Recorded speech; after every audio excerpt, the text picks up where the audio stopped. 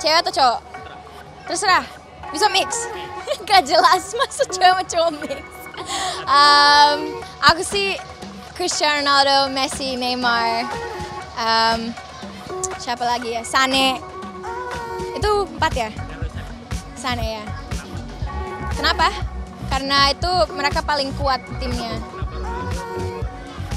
Messi, soalnya aku dia goat. Aku cinta banget sama Messi. Uh, Neymar karena dia emang skillful banget, dia cepet sama bolanya.